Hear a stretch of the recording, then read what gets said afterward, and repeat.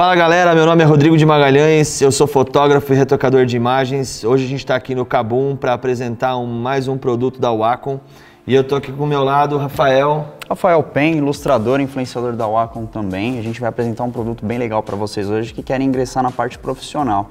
Se inscreve no canal, curte aí o nosso vídeo e compartilha se puder. Isso aí.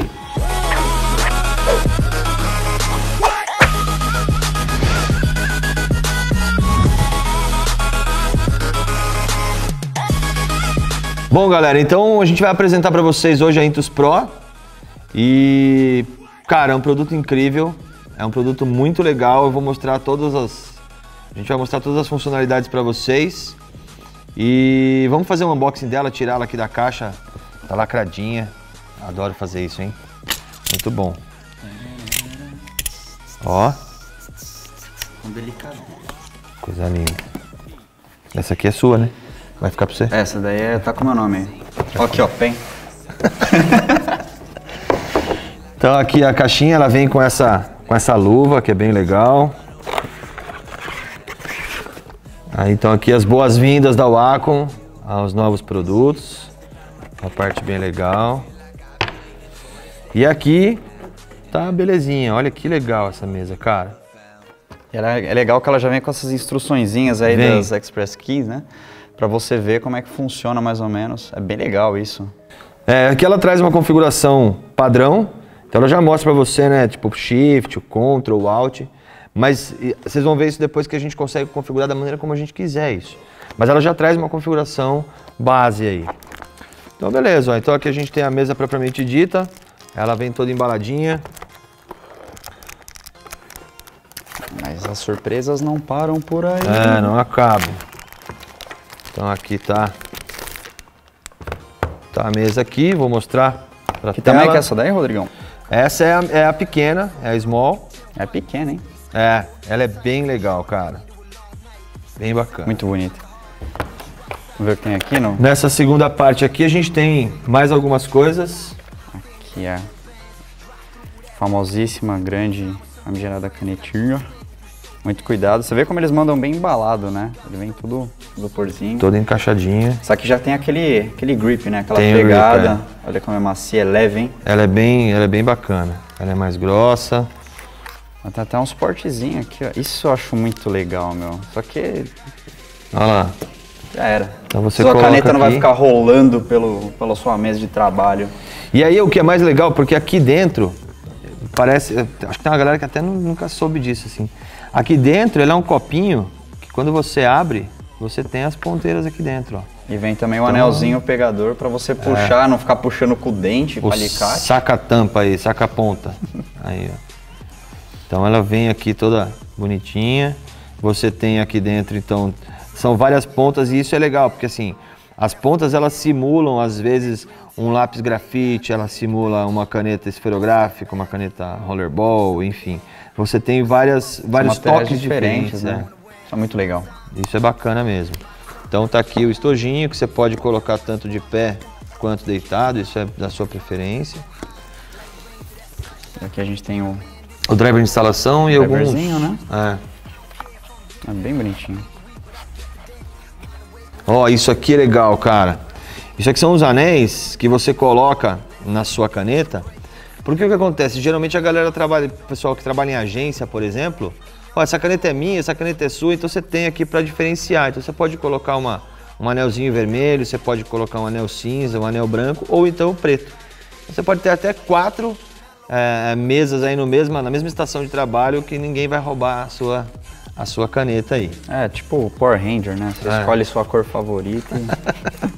Mais ou menos isso. bem legal. Você desenha aí o manualzinho pra vocês não se perderem. É, um quick start aqui, ó, que é bem legal. Ele explica como você tem que fazer todas as, as instalações e configurações iniciais para sua mesa começar a funcionar. Nesse modelo ainda vem o CD, mas lembrando que toda, toda e qualquer instalação você também encontra no site da Wacom. Todos os drivers disponíveis, atualizações. Exatamente. E aí, o que mais? Acabou? Já era? Só esse. Ah, você tem a parte aqui, aqui, ó, ah, isso é importante. Muito bem. Aqui vocês Tem têm cabinho. Deixa eu pegar aqui. Ele- essa, essa, esse modelo já vem com o kit wireless. Então, cara, você não vai precisar mais se preocupar com fio, ficar incomodado com fio e tal. Eu vou fazer a instalação aqui, ó. Mas vem o cabo Vem também, o cabo. qualquer coisa. Até porque você tem que carregar, né? Sim, esse aqui, como a gente acabou de abrir, ele não está carregado, então a gente vai utilizar o cabinho aqui. Então aqui você destaca essa parte de baixo aqui, ó. É só você tirar. E aqui você tem a parte da bateria e a parte do kit de transmissão. Então vamos colocar a bateria primeiro, ó. Não tem como errar, só tem uma posição para a bateria. Ela já está encaixadinha. E o kit. Putz, eu lembro quando eu tinha a minha, cara, eu fiz essa instalação, eu tava até tremendo. assim. Aquela emoção, né? Aqui você tem que tirar essa parte aqui, ó. É legal guardar, porque depois que você quiser, você pode deixar. E aqui é só encaixar. Essa, essa ponteirinha, que é USB, na verdade, ela vai no computador. Mas é legal porque aqui você tem um estojinho para guardar. Então quando você for, sei lá, levar o notebook para algum lugar e coisa do tipo, você pode só encaixar aqui dentro, ó. Aí fecha, não tem problema nenhum. Eu vou colocar a tampa de volta. Aí, beleza. Não encaixou. Aí, agora sim. Muito bem. E aí, legal. Então, aquele estojinho que eu falei pra vocês onde você guarda a ponteira USB, ela tá aqui, ó. Aí você só puxa pra fora, já pode conectar lá tranquilamente. Aqui é legal que vocês têm um botão de liga e desliga. Dá pra ver no detalhe aí. E tem também aqui o indicador de bateria. Quando a sua bateria está carregada, ela fica verdinha. Quando a sua bateria está descarregando, ela fica laranjinha. Então você tem aí o indicador, inclusive, da bateria. Beleza? Esse aqui é legal guardar.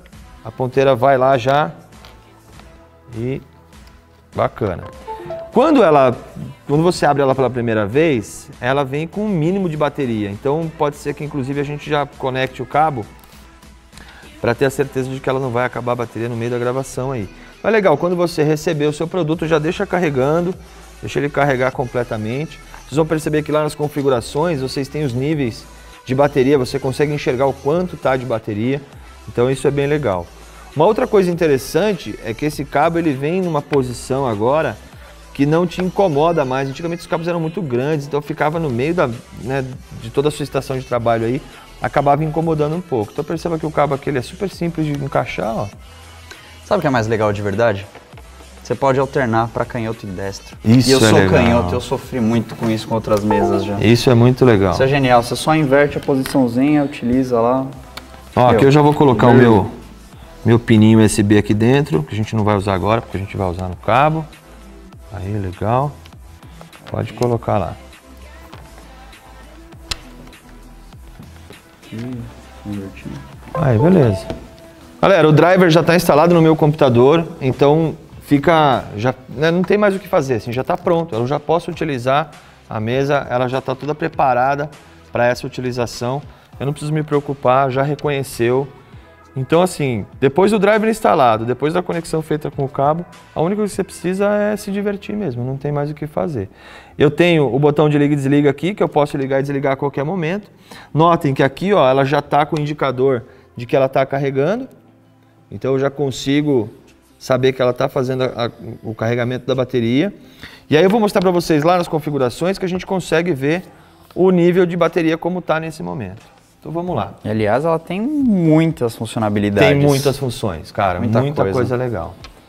É, ela vem com uma rugosidade que ela meio que simula aquilo que seria a rugosidade do papel, aquele papel mais comum que a gente conhece. Outra coisa importante, essa mesa, ela tem, primeiro, é, os botões de atalho, que são totalmente personalizáveis, que são os Express Keys, que você pode colocar qualquer função aqui, né? desde actions no Photoshop, pode pedir para abrir um, um software a partir de um botão. Sim, você pode colocar salvar um, um- um arquivo. Exatamente. Você pode colocar, ah, quero que abra o Photoshop. Então você põe esse botão para que ele abra o Photoshop. Você pode configurar isso. É, depois disso, eu tenho o Touch Ring, que é muito legal. Eu posso colocar zoom, eu posso colocar movimentação da, da minha área de trabalho a partir desse botão, que ele é só touch, eu não preciso apertar nada. É rotação, você pode aumentar e diminuir o tamanho do seu pincel, por exemplo. Isso é uma coisa que para vocês, ilustradores, é muito legal, né? É Que você muito precisa bom. às vezes girar o papel na tela E aí você pode colocar a rotação. E é justamente o que eu uso, eu giro, porque às vezes quer fazer aquele tracinho, dá aquela E a mão fica naquela posição estranha e tal. Isso aí já ajuda muito. Legal. Depois aqui esse botão, além disso, você pode colocar várias funções. Então você tem possibilidade de colocar quatro funções diferentes. Então, sei lá, o primeiro eu quero que seja zoom, o segundo eu quero que seja a rotação do papel, o terceiro eu quero que seja tamanho do brush, o quarto eu quero que seja a opacidade do brush. Você pode colocar aqui no mesmo conjunto de botões essas quatro funções. Cara, fica é legal muito que a luzinha já indica pra você em qual função você tá, né? isso é legal também, porque quando vai dar para ver na tela, ó, quando eu ponho, aperto o botão, ele vai mostrando para mim. Então, ó lá, nesse caso tá scroll, alto e zoom. Depois eu tenho lá selecionar camada. O segundo aqui é o tamanho do pincel e o terceiro e o quarto, desculpa, é girar, lá. Então eu tenho quatro funções distintas. E todas essas funções eu posso alterar, alterar a qualquer momento, tá? Posso personalizar do jeito que eu quiser. E é legal que aparece na tela. Você não tem que ficar olhando pra mesa É. o tempo todo pra falar, ah, o que, que eu tô fazendo? Você até pode desligar essa função, mas eu Sim. particularmente gosto de deixar ligado. Ah, eu também gosto. eu deixo ela ativa aí. Até porque eu- às vezes eu não lembro também, tem botões que eu não uso muito. Eu falo, putz, qual que é esse botão mesmo? Já não sei o que tá É, configurando. tanto botão, tanta opção. É. Outra coisa legal, essa mesa, ela é multitouch. Então assim, ela não é só touch, ela é multitouch. Então eu consigo, por exemplo, aplicar um zoom é, direto com o dedo, como se fosse, sei lá, um tablet, como se fosse... Não, um smartphone hoje em É. dia, né? Então Isso eu é consigo legal. fazer essas funções, algumas dessas funções aqui na, na, na própria mesa. Outra coisa, você pode criar códigos aí, gestos específicos para sua mesa. Então, se eu tocar com três dedos, vai dar um comando. Se eu tocar com quatro dedos, vai dar outro comando. Se eu arrasto quatro dedos, é outro comando. Então, por exemplo, ó, a configuração padrão aqui é que se eu arrasto com quatro dedos para baixo, ele abre para mim todos os programas que estão abertos nesse momento. Cara, olha que legal isso. Então, se eu quero alternar de um Illustrator para um Photoshop, por exemplo, eu consigo fazer isso com um, Um gesto simples. é, um gesto simples que eu posso aí criar os meus códigos com a minha mesa, tá? Legal, vamos abrir as configurações dela lá então? Então, de novo, ó lá, vou lá na bandeirinha do Windows. Detalhe importante, ela está pronta para ser usada tanto no Windows quanto no Mac. Aqui a gente está fazendo uma, um review no Windows, mas poderia ser no Mac também. Então, vou lá, na mesas gráficas o Acon, aqui dentro eu tenho as propriedades da mesa. Outra coisa legal, vamos supor que por algum motivo é, o Rafa precise fazer alguma coisa no meu computador. Eu tenho duas opções. A primeira opção é, se ele fez uma pré-configuração da mesa dele é, lá na casa dele, ele pode salvar isso nas nuvens. O que é mais legal? Se ele chegar no meu computador aqui e fala indicar e fizer o login dele no site da Wacom, ele consegue já baixar essas configurações, ele não precisa fazer toda uma nova configuração aqui. Nossa, isso é muito legal. Pro cara que trabalha em casa, vai pro escritório. Exatamente. Isso é muito bom. Porque aí você pode modificar lá na sua casa e no escritório também já vai estar modificado automaticamente. Então tem essa vantagem de você ter essa ligação com as nuvens aí que é bem interessante. Então eu vou abrir aqui as, as propriedades da mesa. Perceba que já tem aqui uma configuração bastante avançada, eu já tenho é, mais recursos a, a configurar. E eu vou começar falando um pouco aqui da caneta. Então, na área da caneta aqui, o que eu tenho? Sensibilidade da ponta. Então, se eu tenho um traço mais pesado, eu posso colocar mais firme aqui. Então, eu vou ter que fazer mais força para chegar no nível máximo. E se eu tenho uma mão mais leve, eu vou trabalhar aí com o valor aqui sempre abaixo. Para poder chegar no final, eu tenho que fazer uma força bem menor. Lembrando que são 2048 níveis de pressão. Exatamente. É bastante coisa. Isso na hora, do, na hora da prática, mesmo na hora de fazer o processo, vocês vão ver o quanto isso realmente faz Não, a diferença. Faz muita diferença. É legal que a caneta também ela tem umas opções, alguns pincéis, e ela pega angulação também. Então você até vê uma miniatura do pincel, você está torcendo o pincel, ele vai mudando o formato dele, fica mais espatulado. Vai ser legal a gente mostrar isso, porque ela tem essa sensibilidade ao tombo da caneta Angular, também, né? O tilt. Muito bom. Isso é bem legal. Bacana. Depois disso eu tenho aqui a distância de um clique e outro para que eu faça o comando de cli- clique duplo. É quase um trava-língua, né? É. Clique, clique, Que- que- é. que- Clique duplo. É o clique duplo. Então, eu posso falar, ah, eu quero mais espaçamento, eu quero menos espaçamento para que ele reconheça que quando eu dou dois cliques, já, já reconheça esse comando no computador também. Tá, eu sempre deixo um espaço muito grande porque às vezes com pintura você vai na loucura e você dá, e aí deu 30 cliques. É. E aí, Aí acaba ele já aplicando. pega, ele já pega o duplo. Aqui eu tenho então a sensibilidade da inclinação, que o Rafa estava falando. Então eu tenho uma, uma sensibilidade normal ou uma sensibilidade alta. Então a qualquer movimento aqui ele já reconhece esse tombo da caneta. Eu gosto de colocar aqui no normal mesmo. é, enfim. Depois disso, você tem como configurar. Aí se dá para pegar aqui no detalhe. Eu tenho aqui ó, dois botões na minha caneta. Esses botões eu posso configurar da maneira como eu quiser. E eu posso combinar, inclusive, esses botões. Então, por exemplo, esse botão ele vai fazer um comando específico quando ele estiver ativado, junto com a ponta. Então, eu tenho que apertar e encostar, eu tenho um comando. Se eu só apertar, eu tenho outro comando. Então, notem a, quantidade de combinações que a gente acaba tendo. Então, tem um botão, dois botões, mas eles combinados, eles são mais um. E assim por diante. Depois eu tenho a ponta e eu tenho ainda a borracha. Que eu também não necessariamente preciso trabalhar com a borracha, eu posso fazer com que ela seja outro comando específico, ok? Perfeito. Então aqui eu consigo configurar, ó, eu quero ó, clique duplo, eu coloquei no botão de cima. Ah, deslocar e rolar, eu quero no botão de baixo, então eu já vou colocar isso, por exemplo, sei lá, eu vou pedir para que ele seja, ah, vou achar aqui, navegação, olha lá, deslocar e rolar. Aí eu venho aqui. Para que, que serve isso para mim? Eu uso a minha mesa o tempo todo para tudo que eu faço. Então, se eu estou navegando na internet, por exemplo, eu estou usando a mesa. para subir o, o- o site ou para rolar o site, eu acabo usando o próprio comando que eu estou aplicando aqui agora. Eu quero que seja rápido ou lento, eu determino qual é a velocidade que eu quero, dou um OK. E aí vocês vão perceber que a qualquer momento eu vou poder utilizar isso. Lá no Photoshop, inclusive, eu utilizo esse comando, ele vai, ser como, vai servir como se fosse a ferramenta Hand, onde eu posso travar e navegar com o meu, com, a- com o meu desenho, com a minha ilustração, enfim. Ah, isso é muito útil. É às vezes você precisa dar aquele zoom, aí você vai. Eu, eu conheço gente que até hoje esquece que pode ter essas opções. Aí vai lá embaixo no canto, pega a barra de rolagem, vai arrastando, aí vai. É, desnecessário total, né? Muito. Depois eu tenho aqui as configurações da borracha, então de novo, a sensibilidade da borracha, aí quando eu inverto a mesa, então eu já consigo perceber o quanto eu tenho de sensibilidade e além disso, eu posso alterar. Ele está como borracha aqui, mas eu poderia colocar várias outras informações de comando aqui. Perfeito. E depois disso eu tenho mapeamento.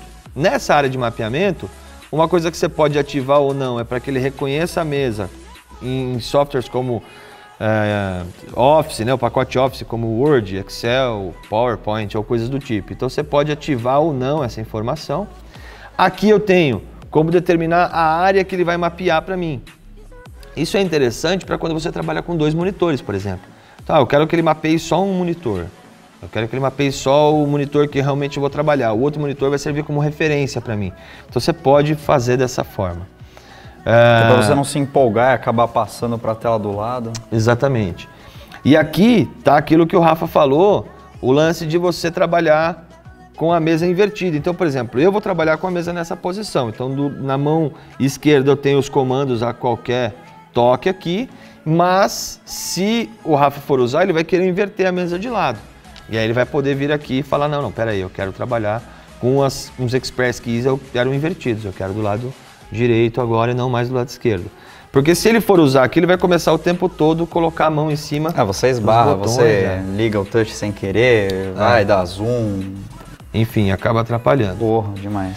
Outra coisa muito interessante que a gente tem nas configurações, galera, é que eu posso determinar que para o Photoshop a mesa se comporte de uma forma, para o Illustrator ela se comporte de outra forma, para o Office ela se comporte de outra forma. Então eu vou colocando configurações para cada um dos aplicativos aqui. Vocês vão perceber depois de um tempo de uso que ele vai já automaticamente se adequando aos seus softwares e você pode falar, "Ah, eu quero que no Photoshop a ponta com o clique do primeiro botão seja o deslocar rolar, mas que no Illustrator ele me traga outra informação. Você pode ir fazendo isso. Então você vai tendo uma, uma quantidade de possibilidades gigantesca. Outra coisa legal é que é, nessa, nessa mesa que a gente tem o multitoque, por exemplo, você também tem como configurar os toques aqui. Então, ó, as opções de toque, eu quero primeiro que eles estejam ligados ou desligados. Você pode também desligar essa função. É, porque tem gente que às vezes não gosta, né? Exatamente. Não, não quer ficar tocando. Porque é legal a gente ver que eu posso trabalhar só com o dedo também, eu não preciso da, não preciso da caneta. É lógico, eu vou perder os níveis de pressão, vou perder uma série de vantagens. Mas eu posso, se eu estiver fazendo só navegando na internet, por exemplo, não tiver que usar nenhum recurso da mesa, eu posso só usar o dedo, não tem problema nenhum. Aí eu tenho aqui velocidade do ponteiro, eu tenho aqui a velocidade da rolagem, eu tenho aqui a aceleração do ponteiro, eu posso ainda colocar esse ponteiro mais rápido ou mais lento. É, o tempo de, de toque duplo, né, que eu posso determinar. E aqui ainda consigo fazer até um teste para ver se ele, se ele mostra para mim aí se está sendo recebida a informação. Aqui é uma parte legal, ó, gestos padrão. Olha que legal, com um dedo ele vai fazer uma informação, com dois dedos outra informação, com quatro dedos, três dedos. Olha que legal, eu tenho um monte de coisa que ele pode fazer. Tudo bem editável, né? Bem configurável, você põe da forma que você quiser. Vocês- é, é tanta opção que vocês vão ter que imprimir uma lista do que você pode fazer, deixar a cola. de- Ah, aqui. Pra depois saber, pra depois lembrar o que você tem que Nossa, fazer. Com certeza. O mais legal é que ele traz esse menu animado. Ó, não estou fazendo nada, ele já está variando para mostrar para você o que é que você pode fazer. Então, se eu tenho dois dedos na tela, eu posso arrastar para a direita e para a esquerda, eu vou ter uma função. Eu posso abrir ou fechar os dedos, eu posso girar os dedos. É legal que ele dá só- não só a quantidade de dedos, mas também como o, o sentido, né? Que Sim. você pode fazer. É bem legal. Isso vale bastante a pena. É, é um salto que você tem para os modelos de entrada, para o modelo profissional, que faz bastante diferença. E ainda você tem como configurar novos gestos. Então você pode criar um gesto seu e a partir daí ir fazendo novos comandos, novas possibilidades com a sua, com a sua mesa. Então você pode configurar da maneira como você quiser.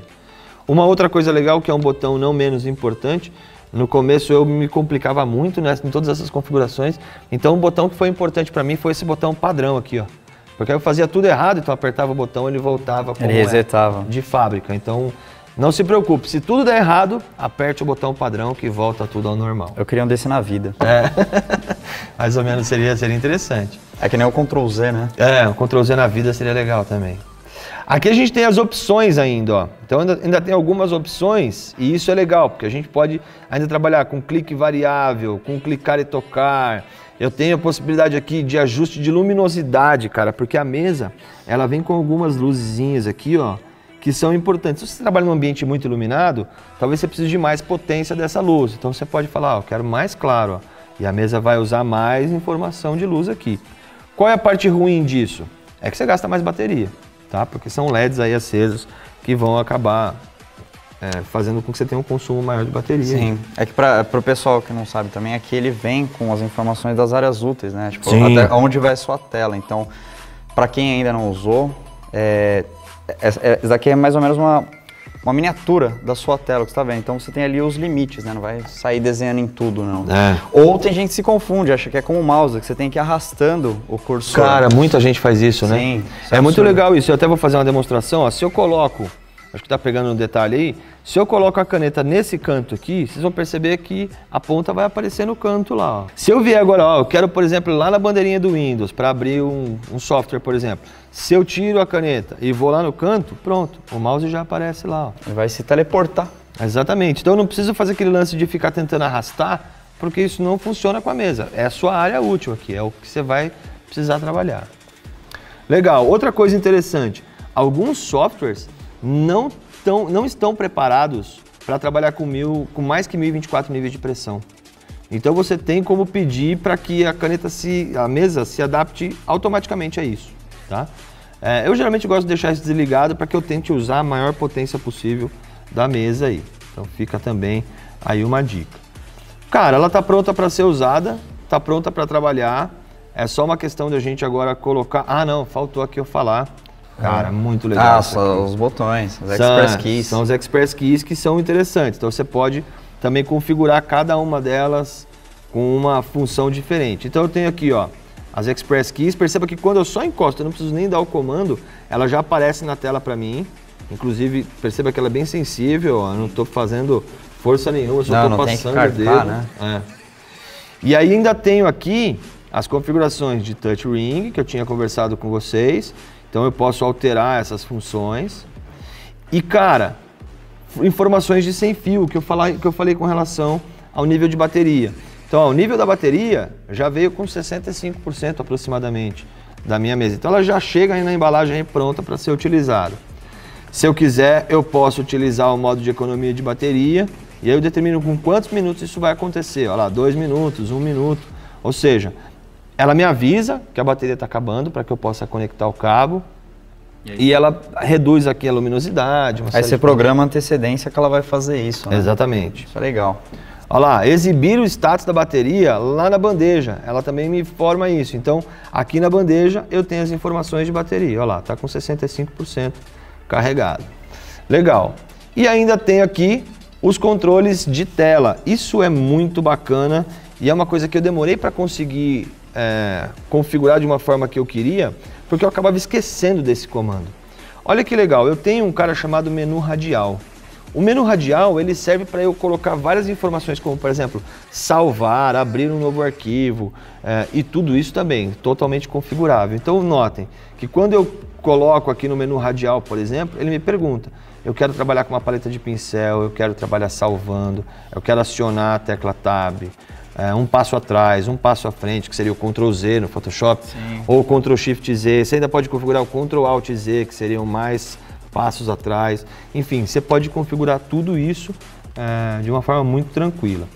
Eu vou mostrar para vocês o Touch Ring, ó, dei três toques na tela, o Touch Ring já ativou. E é ele que vai fazer, ó, então, paleta de pincéis, salvar, tab, passo atrás, passo à frente, janelas, alternar monitor, então se eu trabalho com mais de um monitor eu posso colocar esse comando, propriedades da mesa Wacom, que é uma coisa que de vez em quando você precisa abrir, então eu gosto de deixar aqui, ó, porque cliquei aqui ele já abre para mim. Às vezes o pessoal esquece até onde está, né? Não consigo é. configurar porque eu não sei achar ela no menu Exatamente. inicial. Então, olha lá, três cliques na tela, deixa eu só fechar aqui, ó. Três cliques na tela ele mostra o, o, o radial e, cara, isso em qualquer software. Porque uma coisa é importante, as mesas da Wacom, todas elas já estão prontas, já estão preparadas para qualquer software. Eu não preciso fazer uma configuração específica no Photoshop, eu não preciso fazer uma configuração específica no Lightroom, no Illustrator, no CorelDRAW. Está tudo muito já pronto. Eu vou passar a mesa para o Rafa agora, eu só vou virar aqui. É melhor virar, né, Rafa? Porque aí... Ah, me deixa canhoto, canhoto aí. Eu vou deixar a mesa canhota aqui então para o Rafa, para ele poder fazer é, aqui. Direito, isso. Perfeito. Só que agora eu não consigo mais usar. Aí, ó, legal. Então agora a mesa já está pronta para ele. E super simples, super rápido, super fácil. Só vou mostrar aqui umas coisinhas de pintura digital, né? Vou reaproveitar uma arte que eu comecei num outro vídeo nosso aqui. Aqui a gente tem nosso, nosso caboncínio. Legal, vou demonstrar algumas opções aqui que você tem com o pincel, né? Com os brushes. Vamos ver aqui. Vou pegar um brush mais texturizado aqui. Tá aqui com a opção ligada, vamos tirar. É legal quando você que trabalha com pintura digital, se deixar aqui do lado do opacity, tem aqui essa opçãozinha, deixa ela ligada, porque você deixa a, a, a opacidade do pincel de acordo com a sua mão, seu trabalho manual. Então, se você tira aquele lá, ele deixa flat, né? Só pegar uma cor mais interessante aqui. Aumentando o tamanho do pincel. Tá aqui, ó. Ele tá pegando bem, bem sutilzinho. Vou dar uma, só uma aumentada aqui no tom. Beleza. Assim, uma das coisas que eu gosto na pintura digital é você fazer ela mais, mais solta, né? Dá só um zoomzinho aqui. Ver aqui o que a gente tem. Ah, já tenho scroll zoom, beleza. Então aqui, ó, já estou utilizando aqui o anelzinho, giro. Assim, vou deixar bem... Para combinar assim com o desenho, não vou fazer uma pintura muito realista, né? A gente pode fazer uma, uma pintura com textura, com os efeitos, com algumas coisas, mas não é, acredito que não é o interessante aqui. Vou aumentar aqui um pouco o flow. Então ele já pega mais a pincelada aqui. Vou tentar fazer tudo numa única pintura. É, uma coisa que eu gosto é de trabalhar primeiro o personagem em tons de cinza né, fazer um estudo de volumetria. E aí depois eu só venho e aplico a cor com algum efeito de mesclagem, é, gradient map, né, um mapa degradê, para ficar interessante aí. Então é legal que ele se adapta bem, né? Vou brincar aqui com algum outro pincel para dar um outro tipo de textura.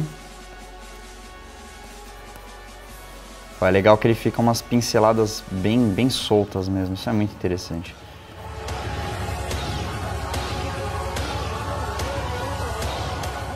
Aqui aí eu posso utilizar duas cores, né? O X ele é um atalhozinho do Photoshop que ele troca aí. Mas eu posso configurar também aqui para minha mesa.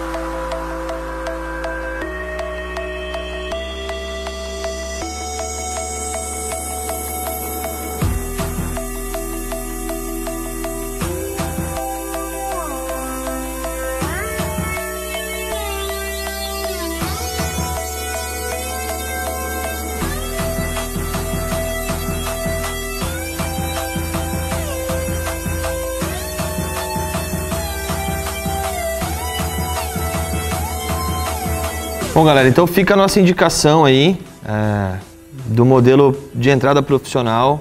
É um modelo para quem já tem uma certa experiência, já quer uma, um equipamento mais profissional, um equipamento com mais... Mais recursos, né? Exatamente. Personalizável. Você pode já entrar, já entrar nessa linha que é a Intus Pro não vai, vai te dar muita facilidade e muito recurso novo para aquilo que você precisa. Então, galera aí de 3D, de publicidade, de design, pessoal de têxtil, uh, enfim, é uma infinidade de estudantes, galera que está fazendo cursos aí mais profissionalizantes, ilustradores, fotógrafos, enfim, você tem uma infinidade de possibilidades aí para trabalhar e fica a nossa indicação. É, se eu fosse indicar alguém que queira trabalhar aí com um material mais profissional, eu com certeza indico a Intus Pro. É, um, é uma mesa que eu tenho, que eu gosto muito do que ela me oferece. Eu tenho ela na minha estação de trabalho fixa e, cara, só tem benefícios, só tem coisa boa. Versatilidade é o ponto-chave aqui, né? Sensacional. Também não, não tem que acrescentar, só que é muito boa mesmo. É, o, lance, o lance de trabalhar sem fio, cara, já é uma mão na roda. Assim, não, você já recurso, consegue... Eu acho muito legal essa parte dela ser é, customizável para vários aplicativos, outros programas diferentes. Então, assim, você monta do seu jeito, sabe? É. Sua Wacom é sua. Isso aí. Beleza? Se inscreva no canal, dá um, um curtir. curtir no vídeo aí, né? Isso aí. Ó, quase um coro. É. Quem gostou, compartilha aí pros amigos, fala bem da gente. Exatamente. E é isso aí, acompanhe. Rafael Pen e Rodrigo. Valeu. Não, não sei se é sobrenome. Magalhães. Rodrigo Magalhães, é isso Beleza? aí. Beleza? Valeu, Valeu galera. galera. Obrigado.